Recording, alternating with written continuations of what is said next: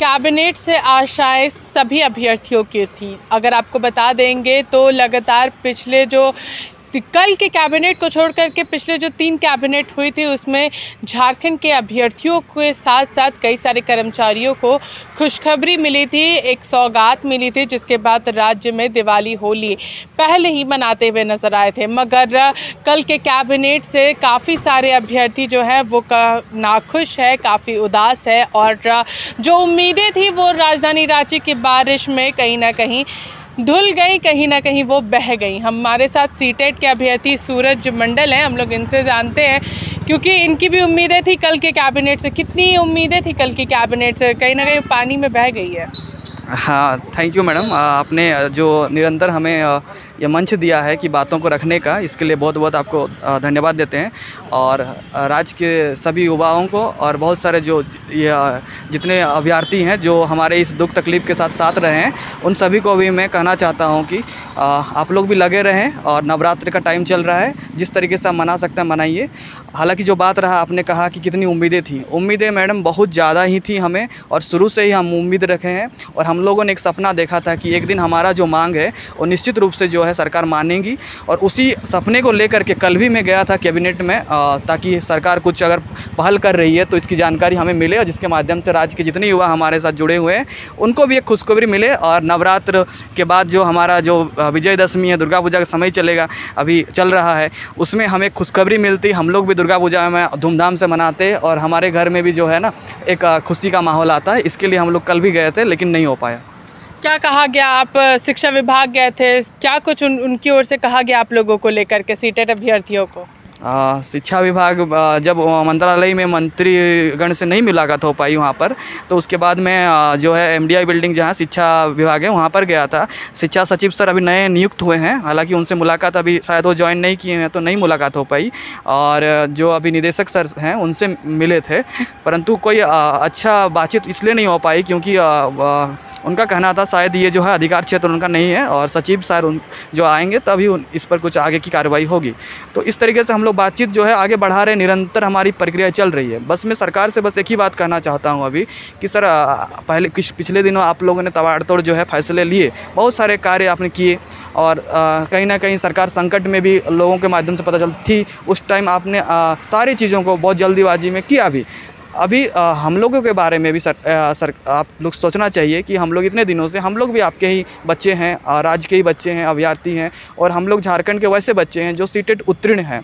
आप नियुक्ति प्रक्रिया आगे बढ़ाने जा रहे हैं अभी, और छब्बीस हज़ार, बहुत बड़ी संख्या होती है, और राज्य में लगभग बहुत दिनों बाद ये बहाली आने जा रही है। छः साल से आपने परीक्षा जो आयोजित नहीं कराई है जेटेट की, जिसके चलते हम लोग प्रभावित हो रहे हैं, और जो सेंट्रल गवर्नमेंट है, वो हर साल सीटेट की परीक्षा दो बार हर साल लेती है। तो सीटेट की परीक्षा अगर हर साल दो बार लेती है, और उसमें हम लोग सफल हो जाते हैं तो कुछ ना कुछ आपको इसके बारे में सोचना चाहिए, क्योंकि आपने परीक्षा ली नहीं, इसलिए हम लोग उसमें उत्तीर्ण हो नहीं पाए। आप अगर परीक्षा लेते तो हम लोग उसमें निश्चित रूप से सफल हो पाते। क्योंकि सीटेट परीक्षा जो है, भारत सरकार की सबसे कठिन शिक्षक पात्रता परीक्षा होती है। उसके माध्यम से आप नवोदय विद्यालय हो गया और सैनिक विद्यालय हो गया। इसके अलावा गुणवत्ता का जो केंद्रीय विद्यालय जैसे विद्यालय हैं, उसमें गुणवत्ता के बहुत उम्दा किस्म का पैमाना है वहाँ पर। वहाँ पर सफल हो पाते हैं। तो राज्य में इतनी लचर व्यवस्था शिक्षा की है, वहाँ वैसे बच्चों को अगर आप शामिल कर देंगे तो इससे अच्छा ही ना होगा, गुणवत्ता ही ना आएगी। किसी तरीके से आपको नुकसान भी तो नहीं है ना। तो ये आपका नैतिक दायित्व भी बनता है, अन्याय संगत भी है जेन्यून मांगे भी हैं, इस पर ज़रूर आपको गौर करते हुए सीटेट के वैसे अभ्यर्थी जो हम लोग लगभग पाँच हज़ार मान के चलता हूँ या फिर उससे कुछ कम बेसी हो सकते हैं, उन बच्चों को आप इसमें जोड़ दीजिएगा तो एक बेहतर आपको कंपटीशन मिलेगा, जो अभी आप ले रहे हैं, उसमें पचास हज़ार के आसपास लगभग छात्र शामिल हो पाएँगे। और आप बहाली करने जा रहे हैं छब्बीस हज़ार शिक्षकों की तो कंपटीशन रह कितना गया, सर? रहा तो गया बस दो विद्यार्थी एक एक सीट के लिए। तो फेयर कंपटीशन भी नहीं हो पा रहा है। आप उसमें पाँच, दस हज़ार, वैसे योग बच्चों को अगर शामिल कर देते हैं तो इसमें कोई नुकसान का बात नहीं है। आपको बेहतर गुणवत्ता ही ना मिलेगा। तो आपको निश्चित रूप से सोचना चाहिए और इसको शामिल करना चाहिए। यही मेरी मांग है सरकार से। तो कहा जाता है ना कि सरकारी स्कूल में शिक्षकों की कमी है, वो सही ढंग से बच्चों को नहीं पढ़ा पाते हैं। तो सर, झारखंड सरकार उसको लेकर के लगातार पहल कर रही है। स्कूलों को सही करने का प्रयास कर रही है, शिक्षकों को बहाल करने का प्रयास कर रही है, मगर वो शिक्षक जो अपने आप को तैयार कर रहे हैं सी के माध्यम से तैयार किए थे, मगर उनको मौका नहीं मिला और कल के कैबिनेट की वजह से एक और निराशा जो है, इन अभ्यर्थियों को हाथ लगी है, जिसके वजह से ये काफ़ी है। अगला कदम क्या होगा? क्योंकि कल की कैबिनेट बीत गई और कोई खुशखबरी नहीं मिली। अगला कदम क्या है आप लोग हाँ अगला कदम हम लोग उम्मीद कभी नहीं हारते हैं। हम लोग शिक्षक हैं। इससे पहले अभी हम लोग छात्र भी हैं साथ ही में। तो हम लोग संघर्ष से नहीं भागते हैं। संघर्ष हम लोग जारी रखेंगे। जिन जिन माध्यमों से हमारी बात सरकार तक सुनी जाएगी, उन उन माध्यमों तक हम लोग पहुँचेंगे, अवगत भी कराएँगे। इसके अलावा हम लोग राज्य स्तर पर भी व्यापक तरीके से अपनी जो है विद्यार्थी और छात्र और शिक्षक जो हैं, भावी शिक्षक जो बनने वाले हैं वो सभी एक साथ संगठित हो रहे हैं। और उन सभी को साथ में ले करके न्याय यात्रा और गुहार यात्रा, शिक्षा मंत्री को अवगत कराने का कार्य फ्यूचर में हम लोग करेंगे आगामी दिनों में जब हम लोग को मौका मिलेगा इसका।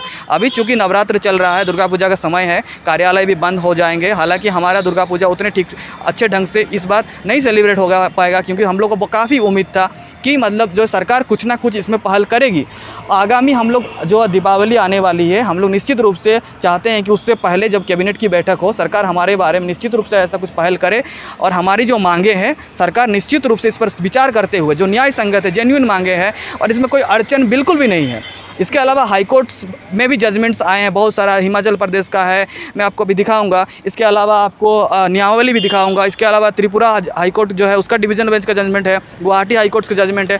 उन सभी जगह भी यही चीज़ है कि किस प्रकार जब परीक्षाएँ नहीं होती है तो किस तरीके से न्याय संगत मानते हुए मौका दिया जाता है बाकी विद्यार्थियों को। तो ये सारी चीज़ें इनके पास मौजूद है और इन सभी मुद्दों को लेकर के ये मुलाकात का सिलसिला जो है वो ज़रूर शुरू करेंगे और सभी चीज़ें इन्होंने बना करके रखी है कि हाँ हमें क्या क्या परेशानी है। जो पेपर्स है, जो लेटर्स है, वो लगातार इनके पास मौजूद है। ये आप देख सकते हैं किस तरीके से हाई कोर्ट का जो फैसला है, वो भी इनके पास है। हिमाचल प्रदेश का ये हाई कोर्ट है और यहाँ पर सारी चीज़ें लिखी गई हैं और चूँकि टेट की परीक्षा हर वर्ष होनी है, ये स्पष्ट रूप से लिखा गया है।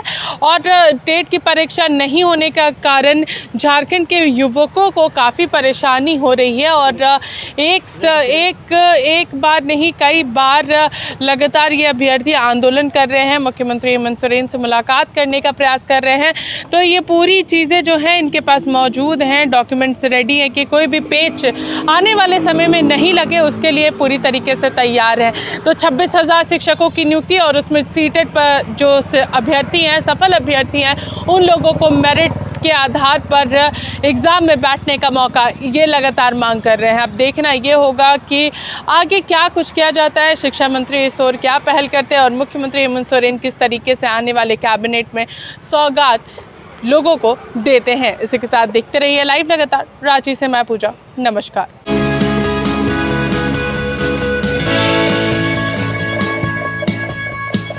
Bye.